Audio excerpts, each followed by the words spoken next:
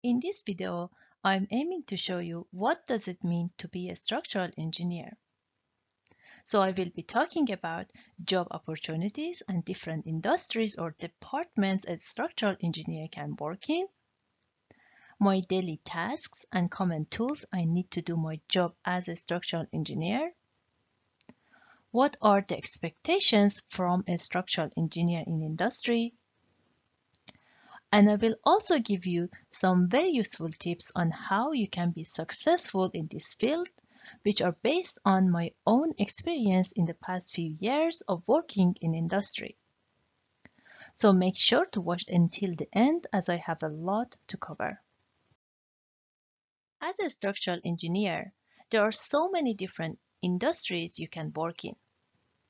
For example, you can work in building department, which is the most familiar one to people.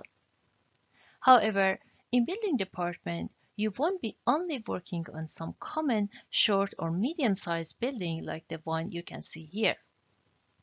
Depending on the size of the project your company can win, you may get the chance to work on some very cool buildings or towers like the ones you can see here. Another department you can work in as a structural engineer is transport. For example, you can design these rail or overhead wiring structures, which can be a portal frame with truss structure, or it can be a cantilever pole. You can also work on other rail projects, such as designing the structures for train or metro stations, or even you may get the chance to work on airport projects. Another interesting sector you can work in is bridge or dam department. And you can design cool bridges and dams and related structures. Also, you can work in telecommunication sector. And you can design these lattice towers, monopoles, or some rooftop structures. Another interesting department can be energy sector and you can design these lattice towers, some solar panels, and other related structures.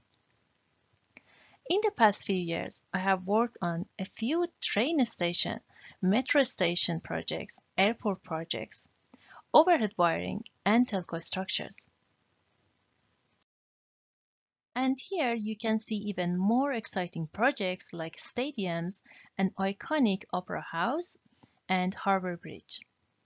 These are also built by structural engineers, and you might say, I will never get the chance to work on these projects. Well, you do. I have worked on both of these amazing stadiums here. So if I could do it, you can too. This is the snapshot of the 3D model of Wembley Stadium in MicroStran software. I think until now, you have realized that opportunities for a structural engineer is endless. And you are correct. Structural engineering never gets boring if you are curious enough to explore different sectors. Also, I'm very keen to know what other sectors you have worked in as a structural engineers that I haven't covered here. Please write down in the comment section below and share it with me and others. Now let's talk about the common tools I use in my daily work as a structural engineer. Books, technical manuals, design spreadsheets, building standards, and many different design and analysis software, which you can see some of them here, are essential part of my everyday work. And this is the case for almost every structural engineer I interact with daily. I know as a student you need to read so many books. But don't worry, you're not wasting time. And in fact, when you work as a professional engineer, you need to read even more books and have a deeper dive into building codes and standards, as well as learning about new products and how to actually design them.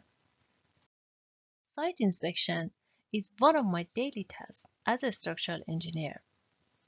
Although it may not happen every day, but depends on the projects I get involved in, it might be in my weekly or daily tasks.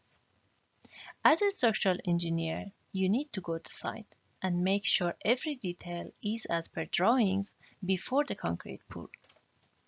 Here you can see the photos from my previous site inspection on metro and train stations where I inspected the wall and base slab reinforcement and also my other inspection for the overhead wiring structures, which I had mentioned before. In my opinion, this is actually fun, as you will be able to see your design in its actual size, which may surprise you how much you were underestimating the size of the members you were looking at on your small screen. Also, I have to say, not every engineer goes to site for their own design. Sometimes you need to inspect other people's design because they don't have time for it. I strongly recommend you to look for opportunities to go to site whenever you get the chance. If you have never had the experience of going to site, my suggestion for you is to take a proactive step and ask your project managers to take you to the site with them. While you are on site, you need to pay attention to the things they are checking and ask as many questions as you have.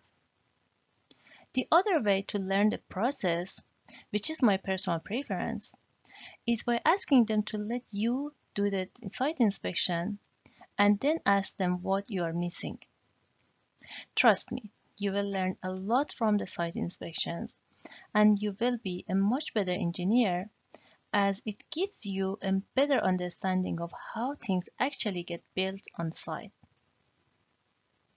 Let's talk about the expectations from you as a structural engineer so that you can be more prepared for the workplace. The first thing I want to mention is that you need to be constantly learning new things. As I have mentioned before, there are so many different structures that you can design and for that, you need to learn a new software, read a new part of a code, or totally a new standard, or get yourself familiar with the design of a new material, which you may have not ever heard of before. So if learning is a passion for you, then structural engineering is the career for you. The second expectation from you as a structural engineering construction industry is to be proactive and have the desire to take actions and do the research yourself. For example, in the first year of my second job, I learned at least six structural engineering software. And the way I learned them was by going through the manuals and learning by actually doing the job myself and asking the questions along the journey.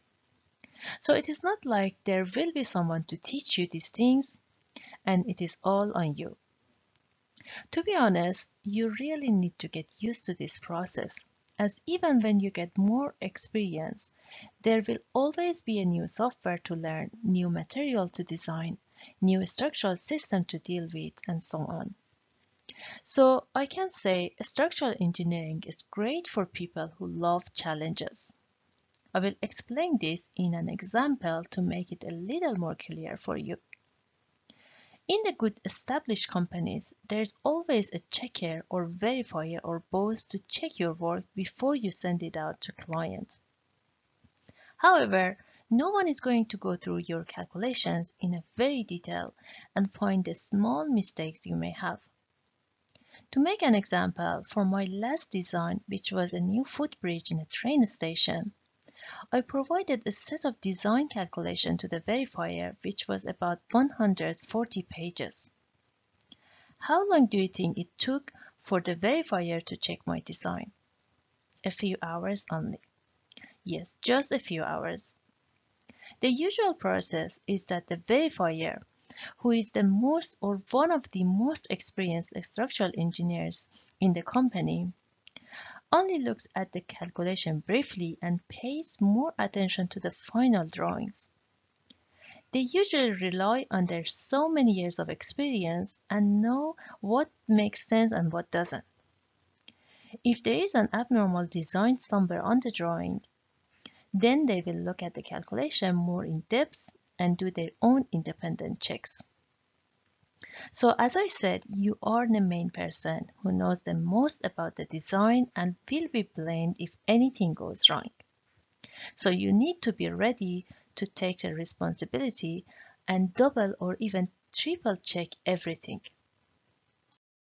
The third expectation from you as a structural engineer in the construction industry is to have an effective collaboration with other team members, such as modelers, architects, builders, and other engineers in other disciplines. Before you start any design, you need to develop a clear concept design which requires direct communication with architect. This is usually done by senior engineers who are able to see the bigger picture and are good problem solvers. When you finish your design, you need to give the required information to modelers or drafters to make the 3D model of the structure and also prepare the drawings. Sometimes due to the tight deadline, you need to be able to give as much information as you can to the modelers so they can start their job at the same time as your design and verification process. To be honest, this has been the case for most of my designs. This means having effective collaboration skills with modelers is crucial. So what does effective collaboration mean? This means your markup should be very clear to them to avoid back and forth corrections which may lead to losing the budget. This may seem easy at first, however, if you consider coordination with other disciplines such as architect, hydraulic, services, etc. at the same time, it will be a little tricky. Drawings, which are the final result of your work, requires a comprehensive check as if anything goes wrong, it is the designer's responsibility, not the others. The fourth expectation from you as a structural engineer is that you really need to understand the business. As you get more experience, you will be eventually involved in the commercial side of the business. For example, one day you will be a project control, which means you need to be able to measure the required budget to complete the task by different people who are working on the project and also monitor the cost during the different phases of the project. My suggestion to you is to ask the project managers in your team to get you involved in the project control, financial tasks, and commercial risks. This way, you are getting yourself exposed to this environment and will be familiar with the common practice and learn the steps. The truth is, you will be the project manager or project director of your project one day. Although there are some people who would like to stay in the technical side only, it is also important for them to understand the commercial side of the business. The fifth and tricky expectation from a structural engineer is that you really need to develop your emotional intelligence or EQ skills. To be honest, this is not something that most structural engineers are good at, as they get very fixated on the technical side only. Having a good EQ can help you keep your client happy as it helps you to understand their real needs by having a good and effective communication. This means you can bring more job to the company, which makes you non-replaceable. Companies love people who have good client management skills, although they may not even tell you about this. So try to be accessible and responsive to your clients, whether they are your colleagues, external clients, or architects. So as you can see now, structural engineering is not just about sitting behind your laptop and doing the most complicated design. There are many other aspects to this profession which you need to be proactive and get yourself involved if you want to be successful. The sixth and last expectation from you as a structural engineer, which I want to talk about, is that it is possible that you need to work overtime when there is submission or deadline to finish a certain stage of the project. Construction industry has too many submissions and while the normal working hours is 38 to 40 hours per week, you may need to work much more than this to meet these very frequent deadlines. I have personally worked more than 60 hours per week at the time of submissions. I'm sure this is not the same for every company. However, I know some companies where 60 hours per week is considered as normal working hours. I know this is crazy, but if you want to work on cool projects, then you need to be ready for long hours too. If you found the content useful, please don't forget to like and share the video with your friends and also subscribe to the channel. Thanks for watching this video and I would love to hear from your experience in the comment section below.